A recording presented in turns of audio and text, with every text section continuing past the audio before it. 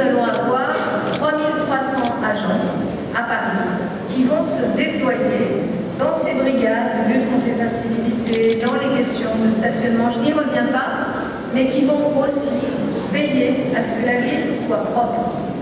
Et oui, la censure fait partie de la pédagogie.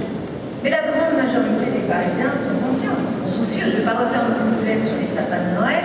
Merci à tous les Parisiens qui ont déposé leurs sapins de Noël dans les lieux qu'on a mis à leur disposition. Et franchement, franchement, ceux qui sont allés mettre leurs sapins en loose day sur le trottoir en passant, en pensant que ça ne se verrait pas, franchement, un petit effort de votre part n'aurait pas été euh, quelque chose d'abusif. Voilà. Donc, il faut bien sûr que la propreté soit renforcée. Donc, une partie de cette brigade va veiller à ce qu'il n'y ait plus